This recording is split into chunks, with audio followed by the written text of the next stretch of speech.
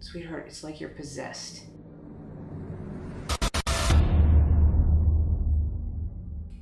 And she has you doing things that you've never done before.